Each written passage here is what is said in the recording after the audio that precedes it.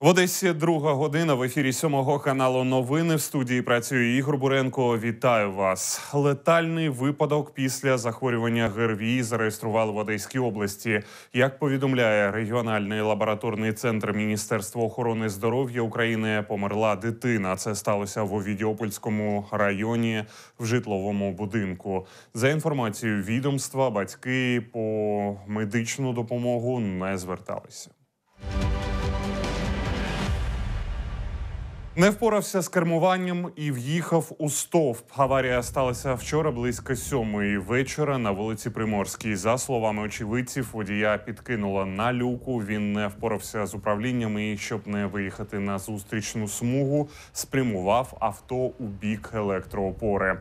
Стовп упав на проїжджу частину. Рух транспорту частково перекрили. У него был выбор либо выехать на встречку, либо вот так. Ну, как бы принял все возможные меры, чтобы никто не пострадал. Он в состоянии шока, в состоянии аффекта, он очень переживает за то, что вот получилось.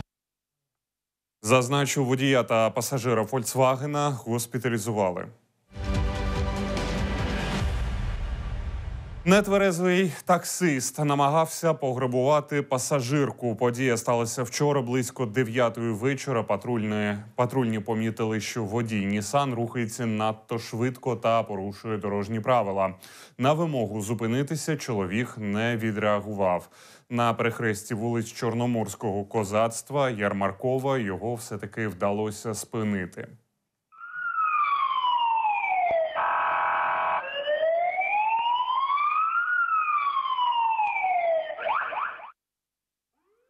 У автомобілі, крім водія, була також пасажирка. Жінка пояснила, сіла до авто на вулиці генерала Петрова. Одразу після цього таксист забрав в неї телефон та гроші, а двері машини заблокував. При цьому чоловік перебував у стані сильного алкогольного сп'яніння та поводився агресивно. Наразі порушника затримали.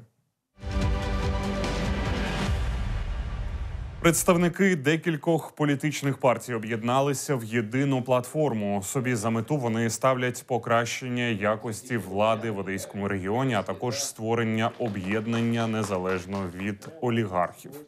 Завдання об'єднання створення шляхом конкурсу серед активних членів громадського суспільства альтернативного депутатського корпусу Одеської міської ради. 64 відповідальних кандидата в депутати міської ради і потужних нам потрібні. І ми їх повинні вибрати з свого середовища. Замість вулиць з, контейнер... з контейнерів е, на промринку сьомий кілометр незабаром можуть з'явитись сучасні торгівельні павільйони. Це передбачає детальний план та план зонування селища міського типу Авангард, які було представлено на засіданні архітектурно-будівельної ради в облдержадміністрації. Це викликано тим, що е, ми живемо в сучасному світі, і е, світ е, рухається в сторону модернізації, якоїсь раціоналізації, упорядочення якоїсь території. В даному випадку це ринок 7 кілометрів. Там кілька власників, і всі вони є замовником. Тобто замовником є громада, а частина цієї громади це власники. А ось чи не викликає майбутня модернізація ринку протестів підприємців? Питання відкрите. Всім підприємцям будуть надані торгові міста згідно їх договор, договорів. Торгівельні місця е, збільшуються, але не зменшуються. Поки це вся інформація. Більше новин дивіться вже в наступному випуску о 16 годині. Залишайтеся сьомим телеканалом.